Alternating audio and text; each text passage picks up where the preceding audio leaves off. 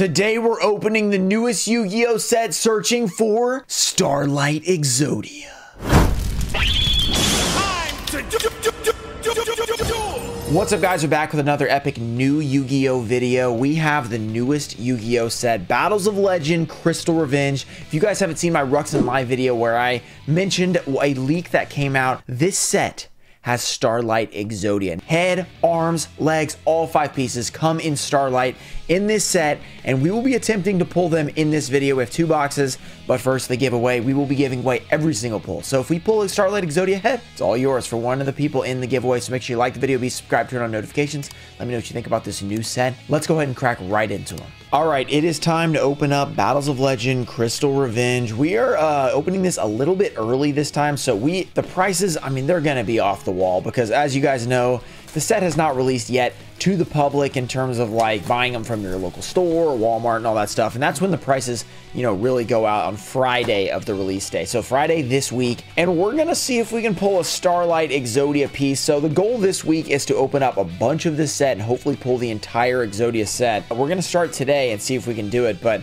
we'll be doing live streams this week, potentially a couple of different videos on Battles of Legend. I don't know where the foil card is. Oh, there's a little Bit of a ding right there, right off the bat. Already bad quality control. Anybody surprised? Not me, unfortunately. Oh, and there it is. Secret Rare right in the middle. Okay, we Rux and specialed it right to the middle. Uh, we get a Gravity Balance. This is actually a cool card because a lot of Edison side decks have this. It's not like necessarily heavily used, but it's a nice reprint for that. It does have an ulti version as well. Hieratic Seal of the Heavenly Spheres. Pretty good card. And then Toon Terror. There's a lot of good Edison stuff like the Black Wings are in here, which is pretty cool. So that's kind of exciting to see those. So I'm pretty excited to grab those for myself when I open some, you know, some cards for myself because this one's the giveaway, so I won't be keeping any of these. But there it is, Blizzard of the Far North, very nice.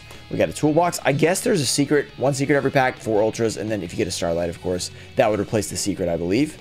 Odd Eyes Phantasma Dragon, very, very cool. I don't know if I remember this card. I know there is a card in here that I think it was, it's like the first reprint in a long time. It could be that one. It's a pendulum card. I don't remember exactly which one it was, but it was one that was formerly like a, a promo or something. This card always reminds this reminds me of The Incredibles. If you guys have seen The Incredibles, of course you have one of the best movies ever. Those little like robot things he fights that are a big circle that just, you can't tell me that doesn't look just like it. All right. Amazon's Haul, very nice. Gadget box.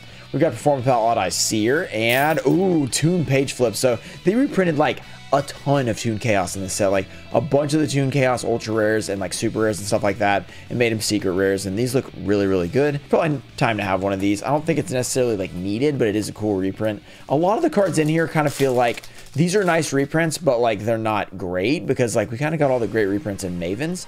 So this set is pretty decent overall, but like the Starlights are really like making it awesome. So if you guys uh, you do, do want to grab some of this, make sure to use my code Ruxin Revenge for 5% off your order. The link will be in below if you guys want to grab some of this. Rainbow Bridge and ooh, the Doodle Beast Tyranno. There it is. MetaZoo makes it into Yu-Gi-Oh! finally. There we go. The Doodle Beast Tyranno. Let's go to the next card. I actually kind of like the Doodle Beast, not gonna lie. They're growing on me a little bit, so I think they're pretty decent. Uh, we just dropped the Crystal Skull. We got Indiana Jones, Kingdom of the Crystal Skull. DD Crow. Everyone was mad this was not a secret rare because this I don't think has a secret rare. It already has an ultra rare, so kind of a bummer print on that one, but still a pretty cool card. Frightfur Patchwork, thinks pretty decent card. Avendread Savior and Advanced Crystal Beast Topaz Tiger. So we're getting some of that Crystal Beast stuff. Very cool. Actually, very awesome artwork. So cool to see that one.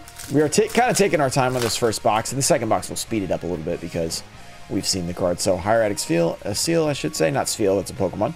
Dragon Nails, Heroic Call. Rainbow Bridge is actually a great reprint. Got, it was a crazy expensive when it first came out, Legendary Duel Season 1, I think. Uh, Chaos Creator, there we go. Secret Rare Chaos Creator, actually a pretty good card. Very nice Secret Rare version. That looks really, really good. I don't, what are the big, I'm trying to think, what are the big reprints? There's not a ton of like huge, like, oh, well, access code, of course. But there's not a lot like that. It's like access code, and then there's not a ton of other huge ones, but access code's huge. Valkyria, Patchwork, Number two, Ninja Shadow Mosquito. All right, we got a mosquito. Very cool.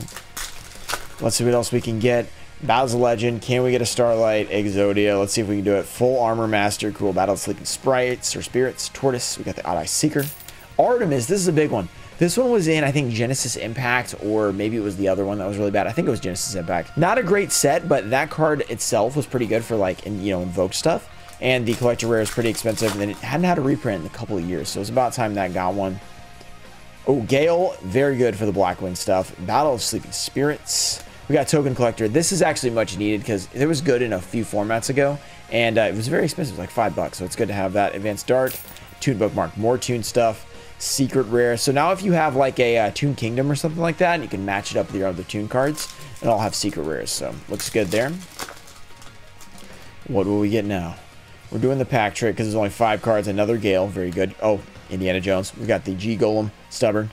We have the Frightfur Patchwork and the Advanced Crystal Beast Sapphire Pegasus. We pulled this in Collector Rare a few times out of the, uh, this is in the same set that had the Blue Eyes. That's the Starlight one that we pulled on a live stream like quite a while ago at this point. I finally sent that to PSA the other day. And speaking of that, I've sent four orders to PSA. So we're going to have a lot of PSA videos coming up.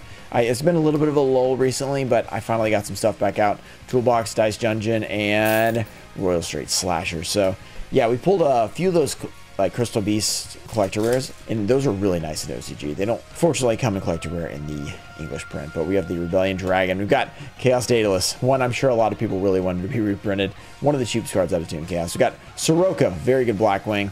Rockhammer, and oh, Vayu. And yeah, this is a huge one for Edison format because this card in Ulti is like, if it's first edition, up to $300.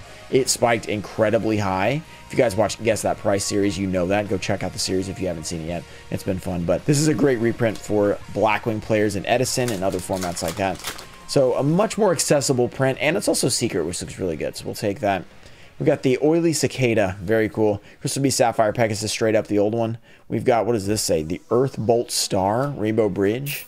Evil Twin Kill, actually a good one. Evil Twins, they will be very happy with that. There's also a collector of that already, I think. But cheaper version, more budget, very nice. We have the emblem of the Plunder Patrol, Rebellion Dragon. We've got the Pebble Dog, the Senko, and the Toon Bookmark added again. All right, we are we are going a little slow on these, so I probably want to pick it up a little bit because we do have two boxes to open. I'm getting a little chatty here. Amazoness, Blackwing Breeze, Heroic Call, Vendread Savior, and Blackbeard, the Plunder Patrol Captain. I didn't realize this was in here. Plunder Patrols reminds me of One Piece. I mean, I guess it's just because of the ships and you know stuff like that, but kind of reminds me of One Piece on the artwork as well. We have Oily Cicada added again, Crystal Beast, Impact returns, Stubborn, and Blackbeard added again. Back, back, back, back, back to back. All right. Back, back, back. We're like a uh, broken record there. All right. Dynabase, America Great Circle, the Crystal Heart, Golem, and Evil Twin Lila. Very nice. Let me know in the comments if you do want to see more of this set open because we'll be doing a live stream and I'm probably going to do a couple of videos and then we'll do the live. Curse Reflection, Amazon. So I want to do some fun stuff with the new set because I think it'll be fun because the potential of Exodia popping out. Number 100 is actually a good secret rare as well, but potentially like pulling Exodia out of a, you know, random video would be pretty awesome. I mean, there's five different pieces to pull, so we've got quite the, uh, quite the task in front of us. This is the Blackwing using Duel Links. Rockamon, and oh, Chaos Space Secret Rare. That's a good reprint because this card's really expensive in the original print from Toon Chaos, even in Super. Okie doke, let's keep going.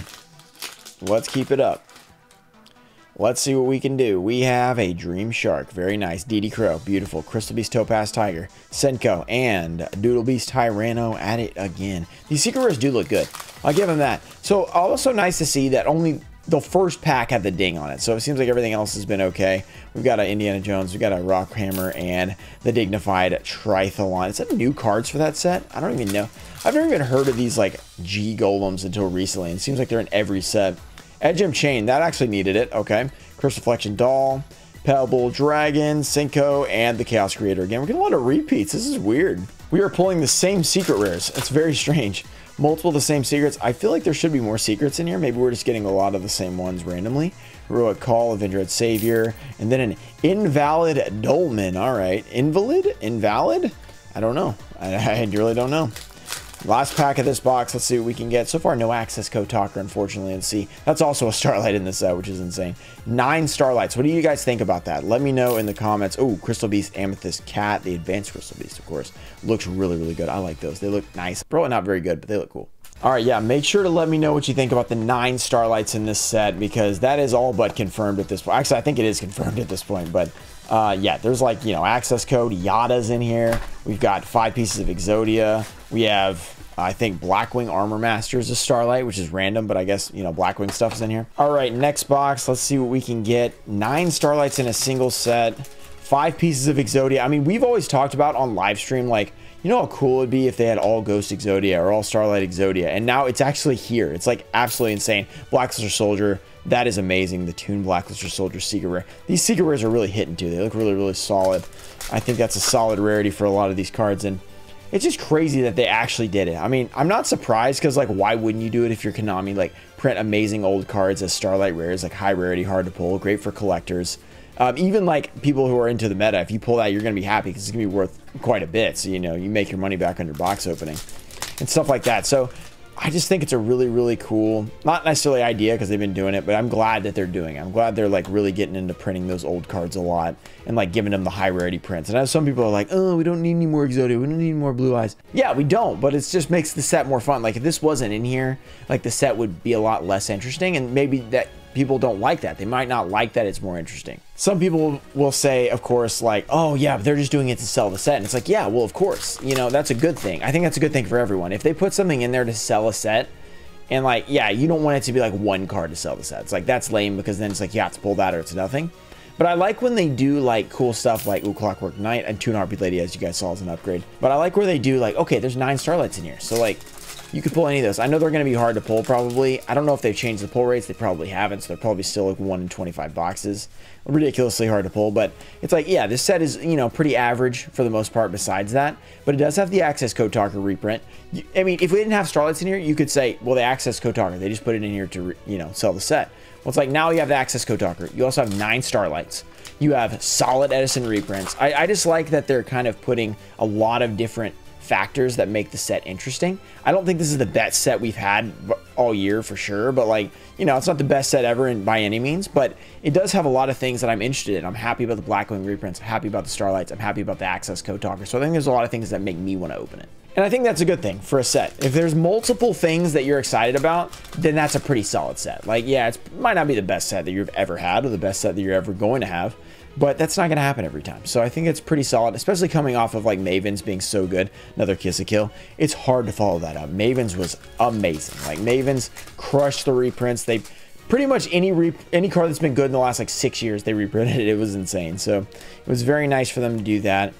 And uh, yeah, followed it up with a decent set, I think, because normally this would be the set where they would reprint a bunch of stuff, but they kind of took the you know the gold, and which gold does reprint stuff. It just usually didn't matter. So it's I, am liking it. I think it's pretty decent. There's a Bora, that's cool. Uh, gravity balance and a Quacky Mirror supplier. Quacky Mirrors, do people play those? I, I highly doubt it, but maybe they do.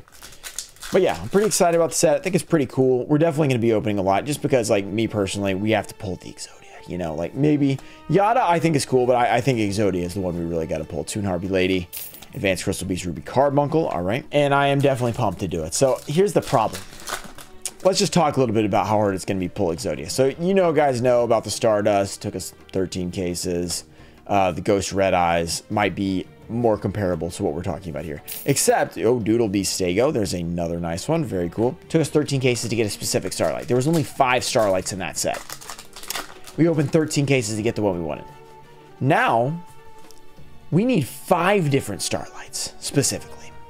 And there's nine total. So it's going to be way, way harder. Okay, there's a Lilla because not only do we need one of the five, we need five, but there's also four others that we could pull. So let's say we pull a Yada and we pull it twice. Or we pull like left arm of the forbidden one three times or something like that. Getting five individual starlights is going to be nuts. It's going to be so hard. I, I don't think the 10 cases I have will probably be enough. But it might. Who knows? Maybe we'll get lucky. Maybe they increase the pull rates. Here's another thing to, think about. The red eyes. Remember how long it took to pull the ghost red eyes? It was about 13 cases as well. There was nine nine ghost in there. But we were getting like four and five ghost a case. And we still didn't get it till the 13th case. Now we're going to be getting zero to one if it's the same pull ratios of the starlights. Zero to one starlight. Like, that could take... There's another Blackbeard. That could take 20, 30 cases at that rate.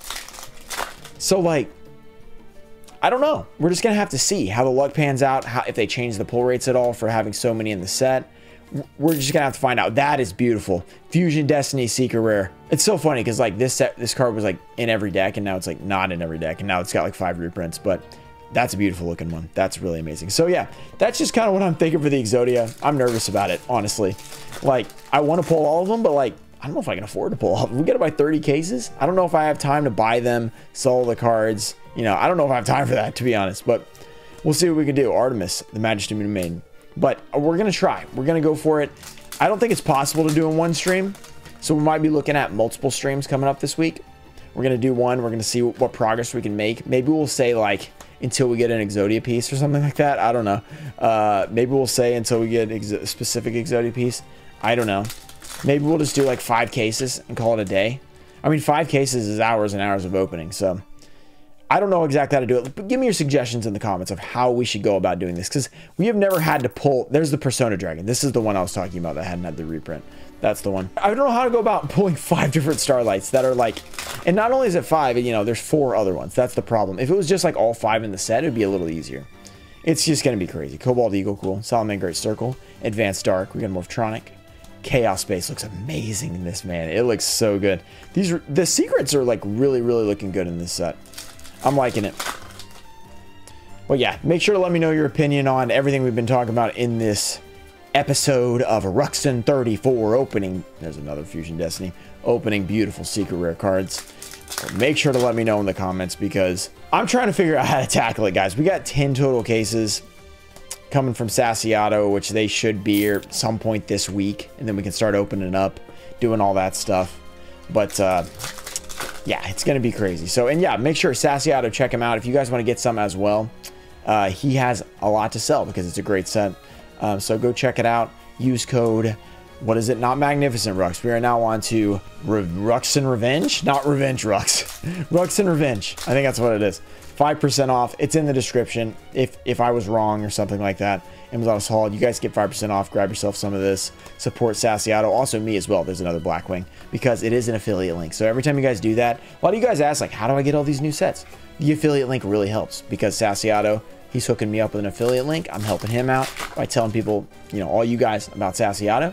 And when you guys go buy from him, it helps him out because he sells stuff, helps me out because part of it goes toward the new product. I literally never, he never pays me. He just says, hey, this is how much the affiliate link got. This is the last, this is the last pack, by the way. And he's like, I'm sending you, you know, that you can get this many or whatever. So uh, Advanced Crystal Beast Cobalt Eagle. So that's just kind of how it works. So whenever you guys do that, just know that you're helping support those big openings and the new openings and stuff like that, which is really, really awesome. Very helpful to me. That we got a little tangent there right at the end, but this is a cool set. I'm pretty excited about it. Thank you guys for watching this video. If you guys have enjoyed it, make sure to subscribe because we've got more awesome stuff coming up with the new sets, the old sets, as always and more stuff. PSA graded stuff, as we mentioned in this video. Shout out to Toe and Fo Show, Daxter, Tomato Juice, JT Cho, TCG Trusted Cards, Puffins of Doom, Ernesto Deanda, Dizzy, Flexiboy, Hoppus, Choice333, Micycle, Melancholy, Aneta's High Show, Christopher Ward, Ian Musa, John Nolan, Junior Barding, Mike Nance, Mimic Gecko, Stanley, and Thomas McLean. Thank you guys for supporting the channel, and I'll see you guys in the next one.